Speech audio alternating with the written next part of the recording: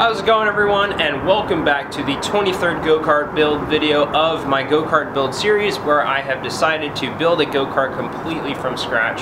Now for those of you who have just started watching these videos um, go back a little ways to the 21st video and that's where you'll see the go-kart run for the first time and it's been a long process leading up to that point but now on the 23rd video, um, well really in the 22nd build video, I kind of caught you guys up with what's been going on on the uh, go-kart uh, in terms of the new torque converter I got.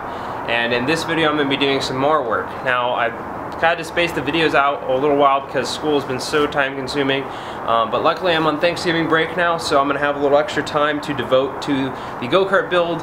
And um, what I'm basically going to be doing today is continuing on where I left off in the last video, which was installing the new torque converter I got from GoPowersports.com. Now that brings me to the point, if you guys are thinking about building a go-kart, or if you are building a go-kart and are in need of a place to get parts and different things for the go-kart, Go Powersports is an excellent place to pick up those parts.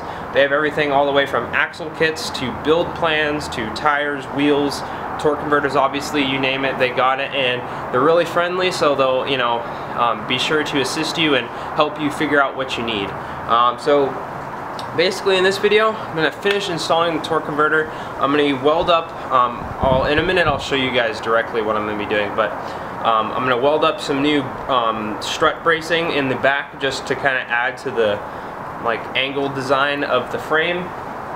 Um, drilling new holes for the engine mount to mount to because I had to um, move the engine over to work with the torque converter um, and I had to get a new drill bit so got a new drill bit and then let's see what else am I going to be doing oh and then I'm going to be so I'll show you about, about this in a second but basically uh, to sum it up um, I have the axle, right? And then I have another, uh, the U-joint go over the axle. And to hold this axle in place, I use a bolt. Now, um, over the course of driving it for like three times, um, these bolts kind of wore out, and I'll show you guys in a minute. Um, but these bolts wore out, and they actually, the torque from you know the bolts, and you know wanting to move the axle inside the other actually deformed the the hole that I had drilled for this bolt. So I'm going to have to drill out new holes which are 5 16 inch versus a quarter inch um, because the bolts kind of deformed the holes and the bolts themselves started uh, deforming and bending and before if I would have kept driving like that they would have just sheared right in half. So um, let's go ahead and get to all the build that I'm going to do in this video and I'll show you what's going on. Okay, so as you can see here, I got the um, go-kart kind of already disassembled um, in the rear section and um, took the tires off. And so basically what I was talking about was, here's the rear axle and these are the holes it's kind of blurry, but those are the holes that I drilled through the rear axle for these bolts, if I can find one. Oh, did it fall on the ground? Oh, here they are. For these bolts to go through.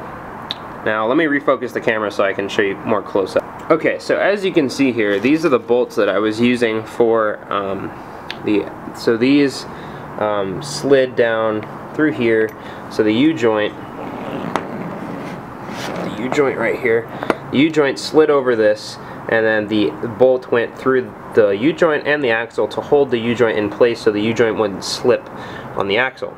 Now these are just cheap bolts I got from Home Depot and I sure learned why I shouldn't use these. And as you can see it started to bend and um, also the threads started to actually um, just get sheared away and that's what caused this slippage. So basically even though the bolt was in the um, in through the through the hole there would still be some play in the wheels and um, if I just kept driving on it it would have just sheared these bolts right in half. Now um, what I did was I went and bought um, grade 8 bolts which is just like hardened metal um, and then I figured out that some of these holes had actually deformed so the the, the stress caused by the bolt wanting to push on this hole kind of turned it from a circular shape to a more oval shape.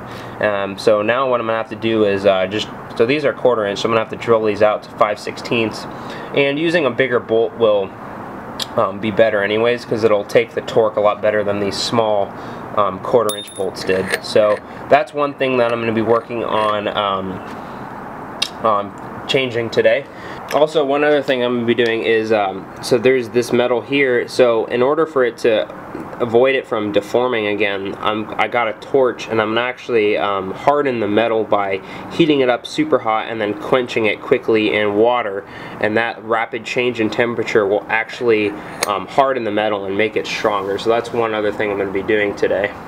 Okay, so then the other goal here is to um, to drill the new holes for the engine plate. So as you can see, I already have three drilled. So here's the original four, right? So then, um, or was that the original four? Yeah, those are the original four. And so then what I had to do was I had to move the engine from here to over here so the torque converter would have clearance from this plate. And so basically these two holes I used for um, these bolts here and those were originally because there's another there's a, a cross beam here going underneath the plate. Um, so what I'm going to do is I drilled so I marked it out again. I drilled pilot holes because um, my other bit broke. And so um, then I just have to drill this last one and that'll be um, the next step for mounting the engine. And as you guys from, can remember from the last build video uh, this is kind of the new rear setup I had to build um, from the uh, torque converter being installed. So I had to kind of cut that piece out and then weld up some cross bracing and um, do that so the torque converter would actually fit on the go-kart. Now I thought this you know is it, it's good it, it, functions but kind of want to make it look a little better so I had this extra piece of um, a trapezoidal cut metal here so what I'm gonna do is actually and I bought some more because I ran out so I have to cut a new one but I'm gonna do kind of a cross piece like that and obviously do one on the other side. And that'll kind of play along with the whole like angled look of the metal on the uh, front part of the frame here.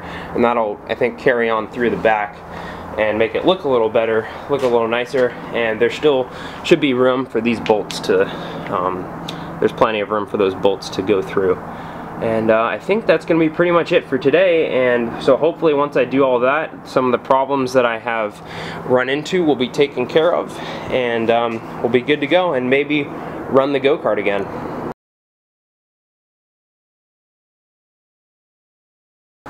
Okay, so let me take the time to fill you guys in on what I was doing um, just now. Um, so basically what my first plan was was to drill these holes out like I said to 5 16ths of an inch. That no go.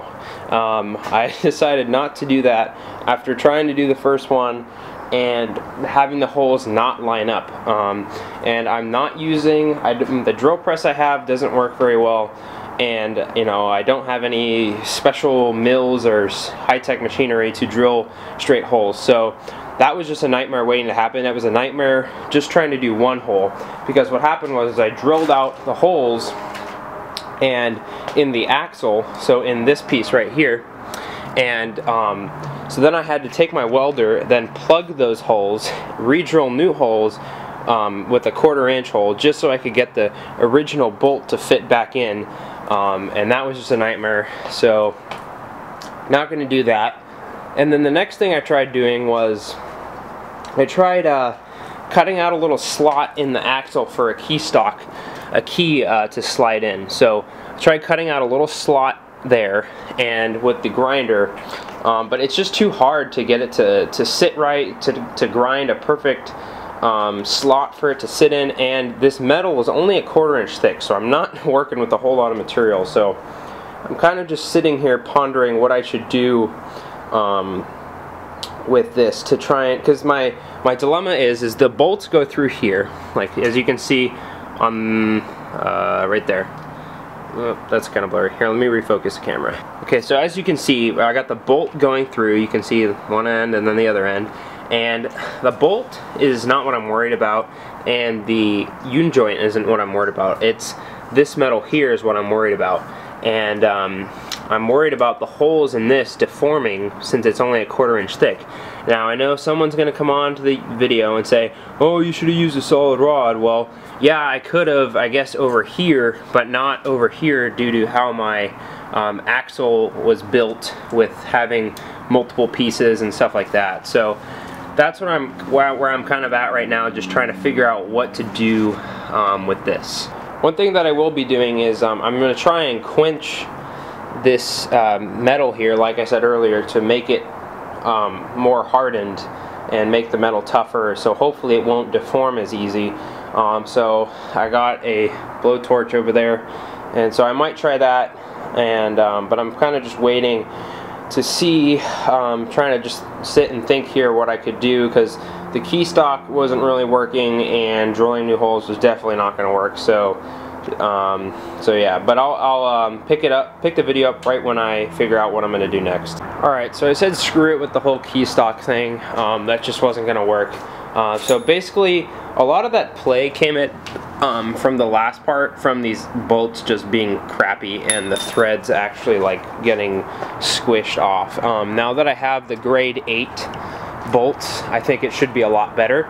But to make sure that the holes on this part don't deform, what I'm going to do is something called quenching the metal, and that is the idea to hardened metal. So basically, I'm going to take this torch, I'm going to heat up the metal on the axle tool, it's like red hot, glowing red, and then I got a bucket of ice water right here, and I'm going to dip it in the ice water, and hopefully that rapid change in temperature will harden the metal. That's the ideal um, that's the overall goal behind quenching metal. So I'm going to go ahead and do that to the axle on each wheel and then um, each piece on here. And so what I'm going to do for here since I don't want to take the entire axle out is just heat it up on here and then uh, I'm just going to pour water over it and so hopefully that'll that'll help. So I'm going to go ahead and get to that now.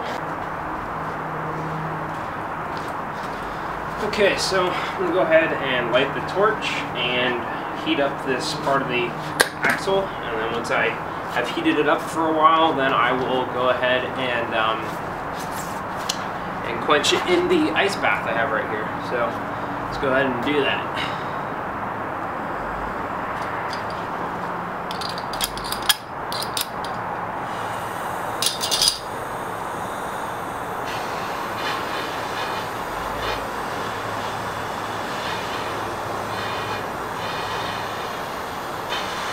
So while I wait for this to heat up, I'll go ahead and cut the video and then resume once I'm about to uh, dump it in the ice bath. Alright, so after about five minutes, I think I'm going to go ahead and quench this guy now in the ice bath. So when we quench it, it's going to bubble a lot and it's going to it's going to harden this metal. Um, I can't tell if it's getting red hot or not because it's daylight out. Um, this is only, you know, can only burn so hot because it's a propane uh, torch. Um, but I think it's getting it hot enough to where it's uh, going to definitely help harden the metal because it's changing color a lot. It's changing the color of the metal a lot. So, um, yeah, I think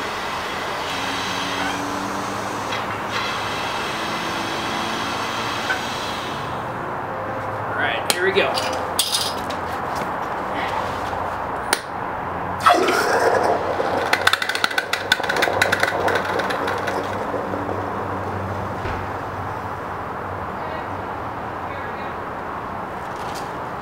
That's how you do it.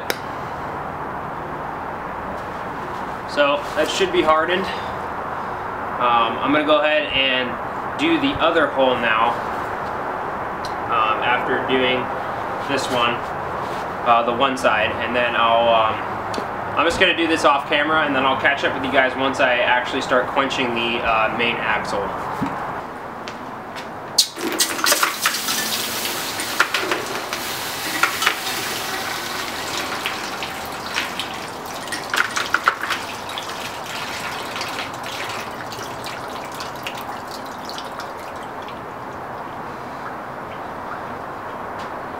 Messier than I wanted it to be, but it worked.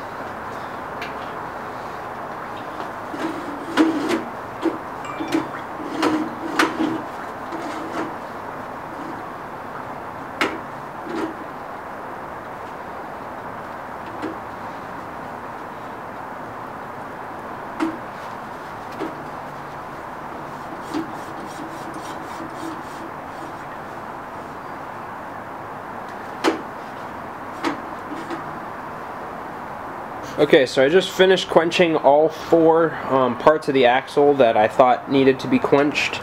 Um, did this side and then that side over there. Made a little, little bit bigger of a mess than I wanted to, but hey, that's part of it.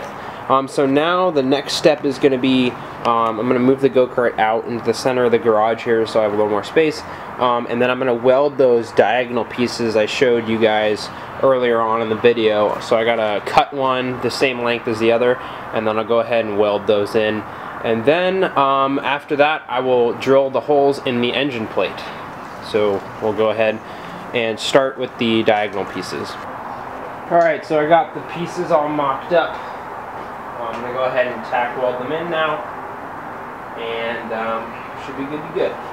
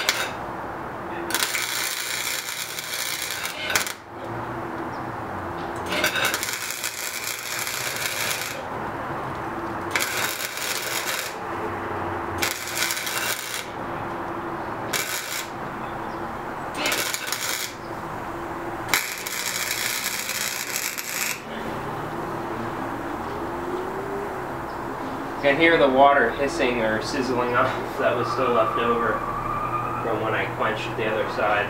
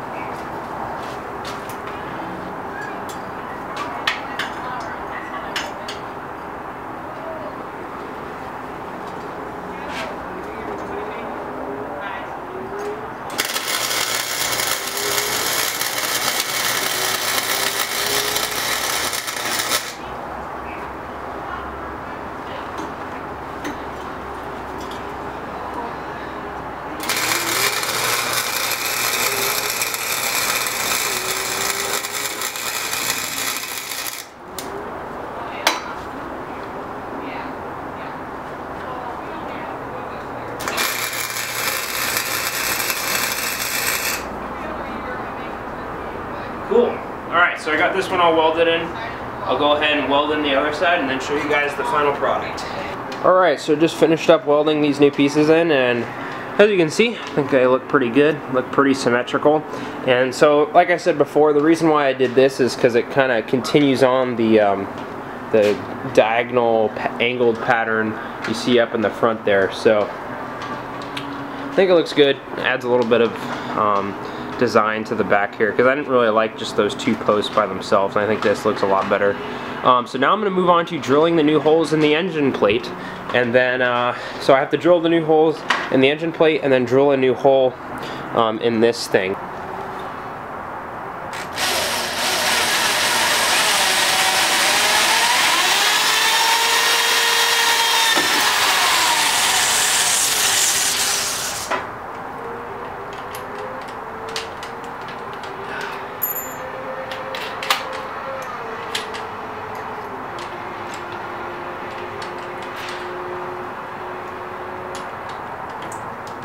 All right.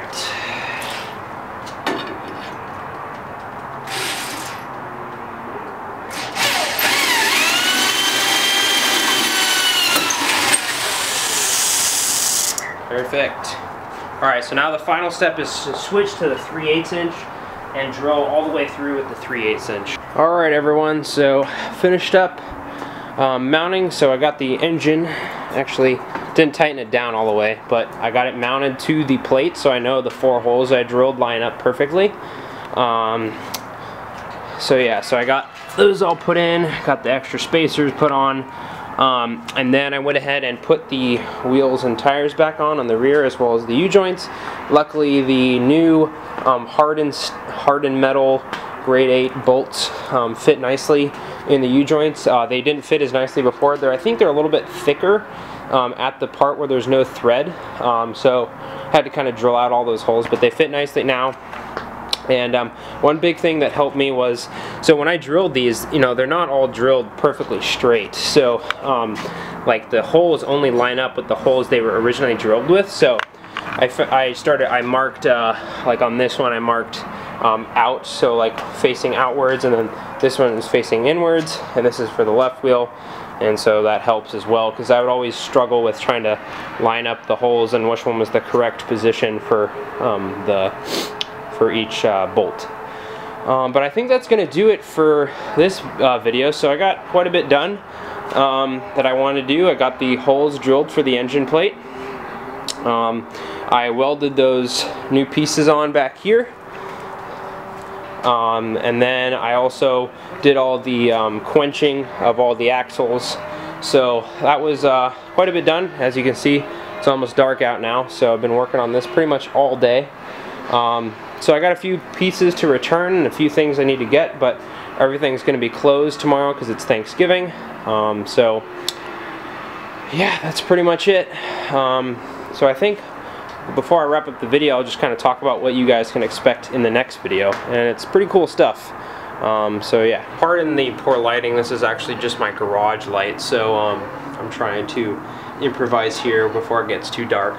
Um, but basically, yeah, so I just got done talking about all the stuff I finished up today.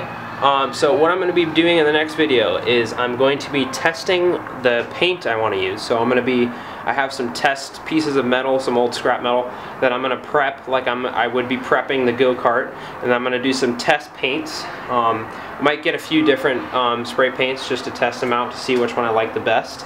Um, so that'll be cool. So I'll get your guys' opinion on what you guys think is looks the coolest and kind of like what color scheme I might be going with because I'm gonna go with a few like uh, not like three different main colors, but like one main color and then like two maybe subtle colors where there's like um, some smaller pieces painted in those. So it kind of changes up the color so it's not all one color.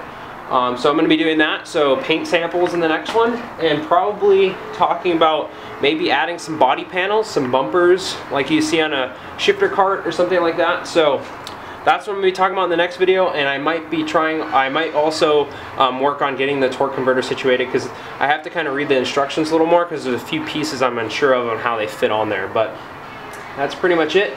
So I think the content for this video is good. Um, the content for the next video is going to be pretty exciting, pretty uh, cool to you know hear about the new stuff going on the go-kart. Other than that, thank you all for watching. If you have any questions or comments about go-kart, anything else, uh, please feel free to leave them in the comment section below and I'll be happy to answer them for you. Um, visit uh, gopowersports.com for any of your um, go-kart part needs like torque converters, um, uh, axle kits, build plans, etc. Um, so yeah, go check them out if you're working on building a go-kart or you're thinking about doing it. And also, have, thanks have a happy Thanksgiving, everyone, for those that celebrate Thanksgiving, because I know not everyone that watches these videos is from the United States. Um, but if you don't have Thanksgiving to celebrate, have a good weekend, and I will see you all in the next video.